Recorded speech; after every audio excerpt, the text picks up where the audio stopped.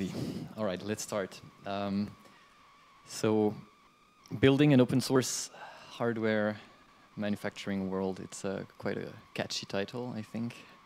Um, we're, we're building this project, we've been building this project for about five years, and uh, we are nowhere near finishing at all. So let's go through where we're at, and uh, I'll welcome any questions at the end.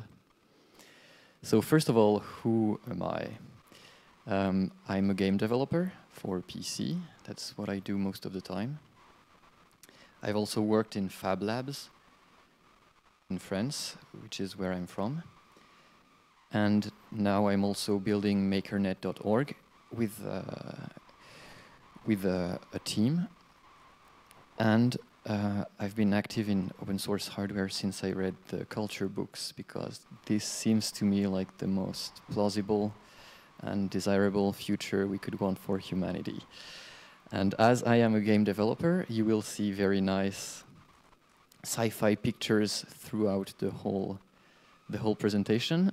Uh, but we are very serious about what we're building, and uh, it's just to give a, a sense of bigger picture which I think uh, building anything without having a bigger picture in mind is not really worth. I mean, as a research, why not? But I also believe that the best way to predict the future is to build it.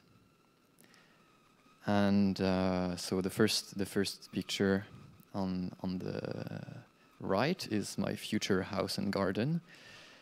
Uh, open source, of course, which I will invite all of you to join when it's built. okay. So I'm not alone in building this. There is uh, Andrew Lamb from Field Ready and Pierre-Alexis Ciavaldini, which is uh, who's my co-founder at makernet.org, as well as, as uh, a lot of other people who help us and also challenge us. um, we, uh, a quick thanks to the Shuttleworth Foundation, Standards Repo, the CERN Open, open Hardware License, Field Ready, of course, and Dassault Systems for their funding, hosting, advising, connecting, sharing, and uh, all other helps they provide us. So, the summary of this presentation we are building a marketplace for open source hardware manufacturing. This is makernet.org. We are also developing a lot of open standards. Uh, some of them are called Open Know-how, which you can find on the website openknowhow.org, and Open Know-Where, which uh, doesn't have a website yet. And I will also invite you to join us by uploading your designs to sell them. So let's start with explaining a bit what makernet.org is. We want to build an open source hardware manufacturing world, and for that we think that the designers as well as, as the manufacturers should be paid. And I, we don't see uh, open source hardware as not being equal to getting uh, paid. Wait, too many, too many conditions in this sentence. So well, we think, we think people should get paid for their work and being open source uh, is not getting in the way of that. So the website is, uh, is a big assembly of a lot of things to gather three type of people in there. One, we have designers who will build the blueprints, the designs, the files, and update them. And this is hosted on a Git repository. We have manufacturers who will receive manufacturing orders, and we have clients like people who browse Amazon or Lazada or whatever uh, marketplace you can find online. To make all of this work, we want to have as much, um, to include as much as we can. So we have we are using Dassault Systems uh, spatial library, which allows to convert between all 3D file formats and 2D as well. So the library is not free, but it's we make it free of use on the website, so anybody can use it, and there's no no payment required. And I think we think this is a very important piece of making everything work. Is that there's an intercha interchangeability between all all the file formats that people are used to. We don't want to impose things on people. We want to include as much as we can. And uh, another, the last part is the storefront, like Amazon. So this is mm, where we're barely getting into that. So we have a very rough one. It works, uh, but I think this is a yet another huge thing to to manage. And one one quick thing before um, before I continue. So we're we're doing that. Uh, MakerNet is a company uh, so for profit. Open, open know-how and open know-where are non-profit things. And we do not think that we have the right answers. What, what we are trying to do is to find them. So if we are wrong of, or if another company is doing a better job than us, we'll be very happy because our end goal, once again, is to build uh, a world, not to make just a single website uh, better than the rest although if we achieve our our goals, it should be better, should provide more value and a more resilient way of manufacturing and having um, yeah having a, a new world. we'll go into the into the details of what benefits this open source hardware manufacturing world brings. So uh, then the open standards that we need to, to make this marketplace work. And we are, we are also perfectly fine with other marketplaces using these standards. And uh, some are actually, we are collaborating, for example, with uh, Wikifactory to build these standards.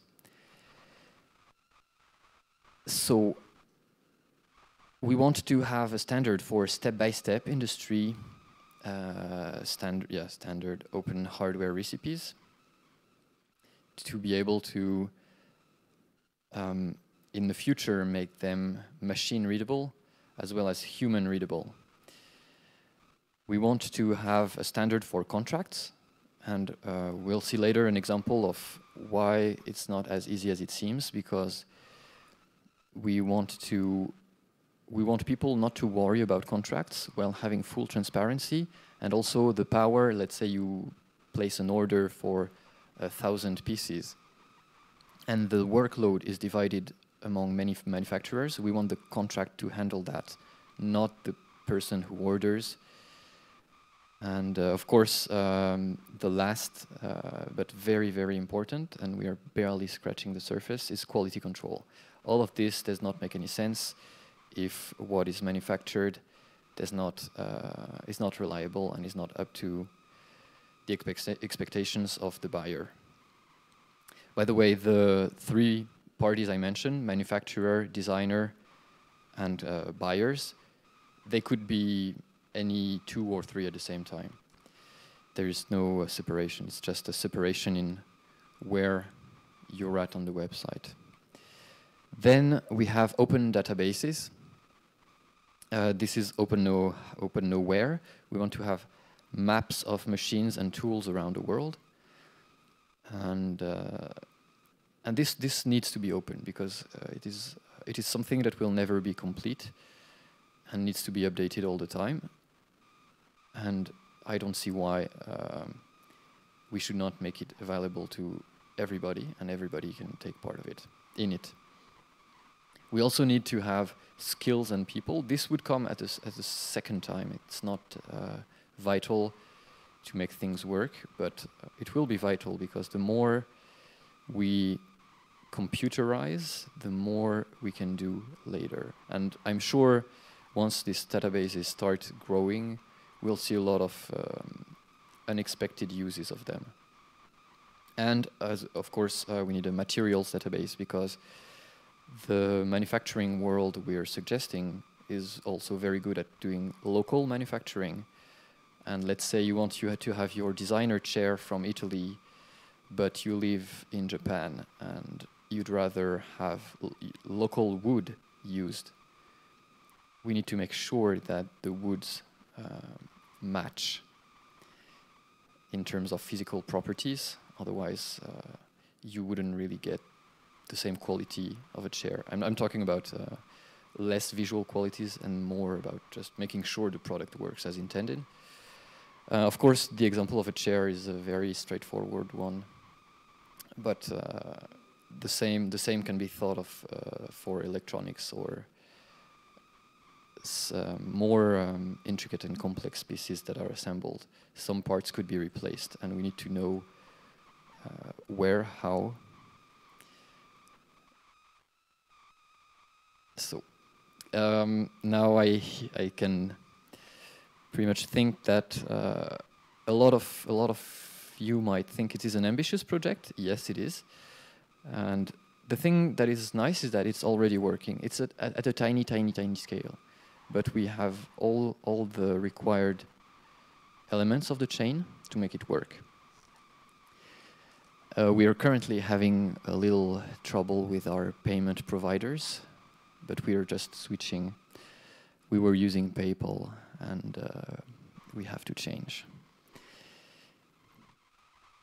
So let's go through the benefits for the designers. I think uh, from speaking with a lot of designers, they're first uh, they're worried about not getting paid because they associate open source hardware with many fallacies. They think it's for learning. They think it's you do that as a hobby and you deliver it to the community, or uh, you don't finish a project, so you just put it on open and you see what happens and never do they think that they can be paid or even make more money by going open. Meaning uh, releasing their their blueprints to everyone under under any license, but uh, we recommend a CERN open hardware license.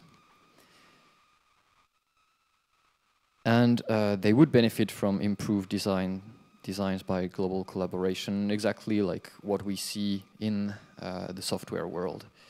I think the only reason why open hardware hasn't picked up is the ease of use and the speed of iteration of modifying and uh, manufacturing hardware.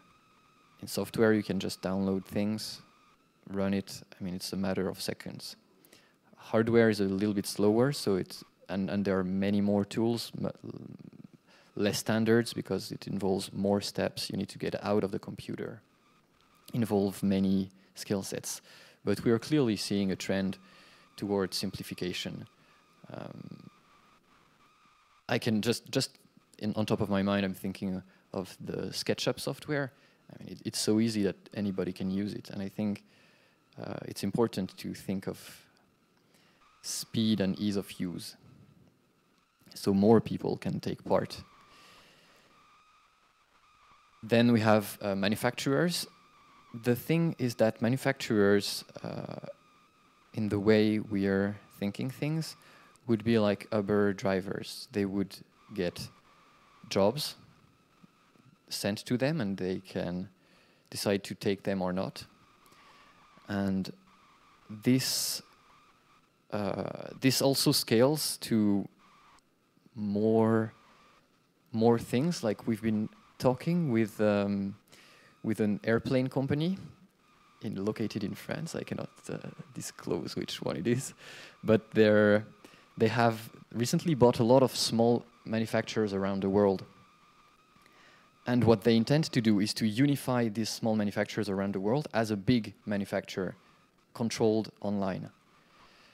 So this is another thing that could could be considered a benefit. It's quite far away, I think, uh, to be something real, but it's to keep an eye on as I think the future will be much more distributed and we'll see less like huge chains who repeat the same motion or it's not it's not like a hundred percent it's we'll see a transition and it will be like a gradient. More, more uh, smaller manufacturers in addition to the to the ones that are quite big and mass produce. Then the benefits for customers, I think this is the most obvious one. This is what I what I got from reading the culture books. We have we want to have locally built, on demand, customized, repairable products. Because if if you think of it, why not have the products that you exactly want instead of what the market offers you? We're not there yet, of course. These are all future wishes.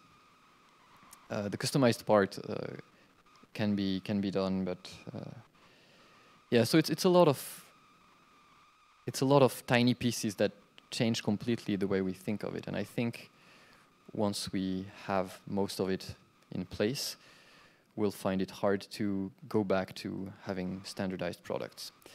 And one of the things that that is very important is full transparent manufacturing information. So on the on the right, uh, this is a this is a just a, um, uh, a label that we would make per product, generated automatically, because we have all of the information from the open standards and the open databases. We can uh, exactly like uh, nutrition facts, you know, the US nutrition fact sticker, I think it's very important to display the same on hardware. This way you know where the money goes, you know what materials it's made of, and you have uh, ideally this QR code who would link you to through all the informations of the build, when it was built, who built what, following what version of the plan, so if you want to repair just a part of a machine, you know which version it was, you know, you have access to the file as it's a Git repository, so you have the full history. You have the license, you have everything. So this this is just a dummy product. It doesn't doesn't make any sense. But we we would also have this uh, cute picture. I think it's important to to make it look uh, interesting and to appeal to people to look at this information. So why are we building this? Um, the main reason is to promote knowledge sharing.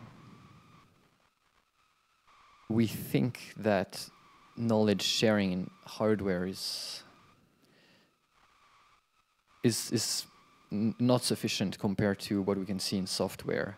I've mentioned why hardware is slower, but I think we can see a trend in more and more sharing of hardware and it's important to develop better hardware because software relies on hardware. Uh, we want to make collaboration easy for hardware. All the most of the designers we talk to there have no standards. They still name their files version one, final, final one, final two. They use Google Drives or Dropbox, which is okay. It works. It's not bad. And we also will. You can also import Google Drive into MakerNet in, in a few clicks. Because we want to make it easy for people. We don't want to impose new ways of working that, are, that don't, don't make sense. So collaboration is very important. We want to make it easy to manufacture and sell products. The story of my co-founder is that he was designing uh, an adaptation to a 3D printer, and he wanted to uh, to sell this improvement he made, but then he had to go through the hassle of incorporating, understanding tax laws, how to sell in different countries, how to contact manufacturers. So as a beginner in the um, in the hardware world, you get a lot more barriers to entry than uh, again software.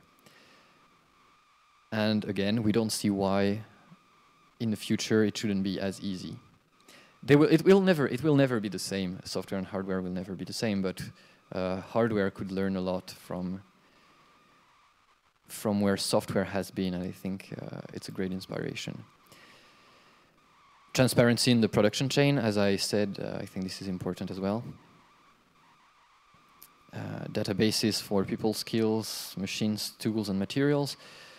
Um, having, you know, in, if you start if you start uh, to learn about anything, I think you have to measure it. You have at some point to start measuring it, and you cannot measuring measure it if you don't have the right units. And all these databases are um, and standards are units of measurement. And once we can measure things, we can improve things. Otherwise, you're just aiming in the dark uh, and hoping that you get better. And also customized products, so for the end users. Um, I'm again talking, talking uh, using an, a furniture example, but uh, you can think of much more advanced. But did you ever like you have a new place, you want a table that is exactly this length, and you go to whatever store and it's not exact, so then you have a small gap or it's slightly too big or you have to adjust. And there's not there's no real reason why uh, the future could not provide you with exactly what you need.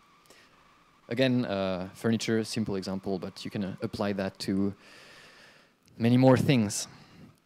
And yes, because we think it's how manufacturing should be. I think where manufacturing is at right now is um, just a side effect of where society has been and understanding like this global connecting everything then i'm not going into into um, into globalization and stuff like that but uh, we see trends in in the us in europe to go back to local smaller um, things let's let's talk a, let's take a small example uh, that is uh, related to the virus. Um, in France, there, uh, there are only two factories who are able to produce masks, and they ran out uh, in the first weeks. They sent them all to China. So France is relying on other countries to get masks, um, although they have manufacturers in France, but not enough. So I think this is a clear example where the governments and the and the and the states are seeing that there is a lot of weakness and a lot of uh, vulnerability in having everything manufactured in one place.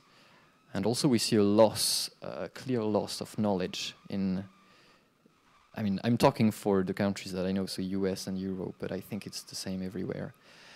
And they also realized that um, the economy of the country still relies heavily on manufacture. For the US, I think it's been going down, and I think a lot of um, I forgot the name of an institute who led research, and they and they were showing that decreasing manufacture locally weakens the whole economy because of relying on other countries. So at some point, you become at the mercy of what happens somewhere else and you just respond instead of initiate. Then uh, let's go um, through a simple example. Very simple. So there, we let's take a designer who uploads. Yeah. Question, or you're the designer? Okay, we have a designer there. So he uploads a design. Oh. I'm going with furniture again. Five minutes. Five minutes. Okay. Um, he sets he builds uh, he builds the blueprints for a new chair. He uploads the chair online uh, under the CERN license, and he sets a designer fee. So for every chair that will be sold, he will get paid uh, 100 US dollars, for example. Then um, this design must be built at least once to validate it. This is this is where we're at. Uh, we're welcoming any suggestions or improvement, of course. But so the design has to be built at least once, so we know it's something that can be built. Maybe in the future there will be ways to simulate and uh, skip this step. Then um, this this build, the designer can keep it. It's not kept as a stock uh, somewhere we just now are able we are now able to list the product on the marketplace so you, clients will just browse the marketplace see the chair and they can order let's say they or, order 20 of these chairs for their huge house and uh, let's say the designer is in singapore and the client is in canada so we will uh, match the order uh, with a manufacturer whose whose skills match what is required, and the local manufacturer or manufacturers receives the order and builds them. Once the quality is approved, the manufacturers uh, send the product to the client, and the the money that the client put online to buy these is distributed to the designer and the manufacturer. Of course, actually, the manufacturer get get paid gets paid before building, so he's able to get the materials. Um, here's a here's a use case that we that we did in Iraq with Field Ready to have 3D printed animals in soap to incentivize children to wash their hands.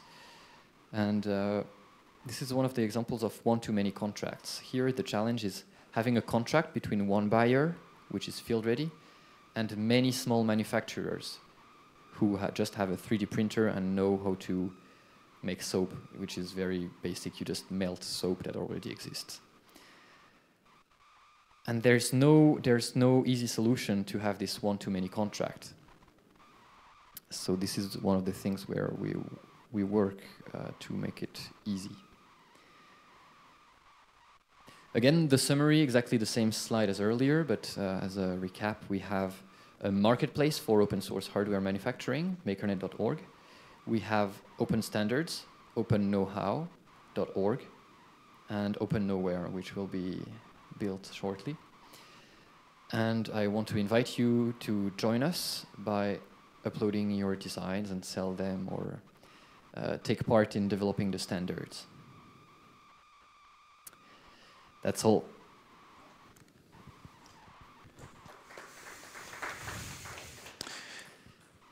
Thank you. That is fascinating. I have at least half a dozen of my own questions.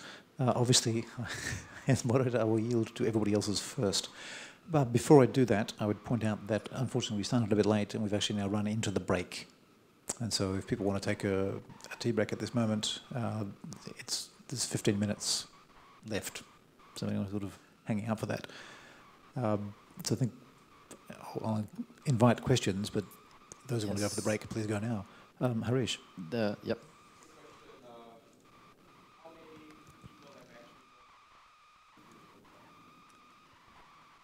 Two. Uh, we are so. What oh, works? Sorry, please, please repeat the question. Yeah. So, uh, how many people have gone through the process, and what type of products? So, we, two people have been through the process. One is us, of course, to test what we built, and the other is field ready. Um, the type of products are very simple. We only do 3D printing, laser cutting, and CNC, like the basics that you can find in Fab Labs because we rely on uh, the, the, the most distributed manufacturers we can find are Fab Labs, and they usually have these three pieces of equipment. So we already have a network of uh, a thousand plus small manufacturers around the world. This is our test case, and if we make it work with that, I think we can start thinking bigger. So it's usually like one step processes, and we haven't gone into electronics or um, uh, computer stuff yet. You mentioned the CERN open hardware license. Yes. In fact, that's three licenses. Do you mean any of the three, or do you mean one in particular? Um, CERN o, uh, OHL 2.1, I think now. Yep. Or 2.0. Is that's three licenses. Okay. Um, they are called. Hang on, sorry, I've gone and lost the page.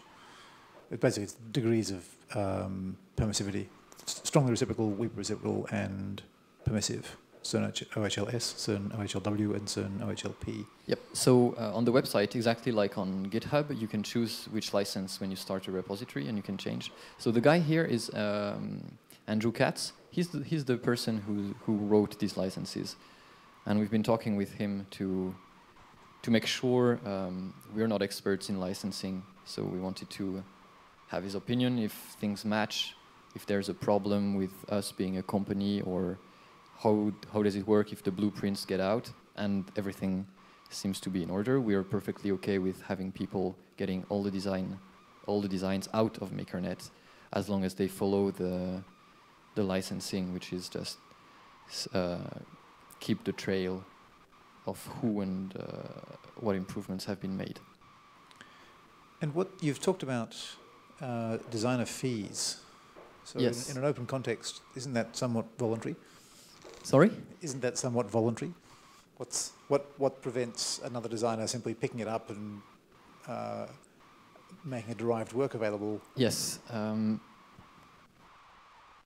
there's no easy answer for that. I think uh, that's that's the risks of of doing open things. So we would not, in the future, we would not. I don't know. Honestly, I don't know. We would try to avoid uh, files that are that are copies. Uh, compu- in terms of uh, computation, we can easily check that. Other than that, yes, it's a challenge, and uh, we I think we rely on human honesty and intelligence, which might be a flaw in the design. I think I think just try it and see what works and what doesn't, because Yes. branding I think becomes part of it. You can certainly readily require that licensees get licenses to the design, but not to the use of any branding. And this is more or less what goes on with uh, high-end textile manufacture, where the knockoffs are not just similar; they're made in the same factories by the same people using the same materials, the same tools, off shift. Yep. So there really isn't a difference. But then you, you then get into, into a branding thing. So it's it's not really limited to open um, open source hardware. It's actually already the case Yes. for sort of at least high end branded stuff. Um, any other questions in the room? Nope. Oh, cool. Um, I might want to ask, ask one more of my long list. You mentioned the culture books at the beginning of the talk as part of the rationale, but don't haven't identified what they are. Sorry? Can you give us more information about what those books are? S- these books. titles, authors. So my f- oh, the author is uh, Iain M. Banks. He's uh, Scottish, I think. He's dead now, sadly. Um, there were no adaptation of his books uh, on TV or cinema, but I think it should uh, arrive quite soon, as they are great. He wrote uh, at least a dozen of the culture books. I haven't read them all, and it's a it's a super advanced future where um, humans. I mean, they're it's not clear if they come from Earth or not, but they they do. Yeah, they're human, but uh, yeah. So um, it's super advanced, and you have AIs everywhere. Humans are uh, enhanced to a point where they can basically do whatever they like, and there's no risk and no death death threat, and they can uh, have anything they want at any time, provided by these uh, super AIs. Uh, and some of them are ships, spaceships, and they're very funny in a in a quite in a British way of uh, funny. Cool. I, I just wanted to identify them, and so I've, the uh, wiki page calls it culture series. Mm. But yeah, Iain yes, Banks. yes, you're right. Uh, I could have provided more information. All right. Well, let's wrap.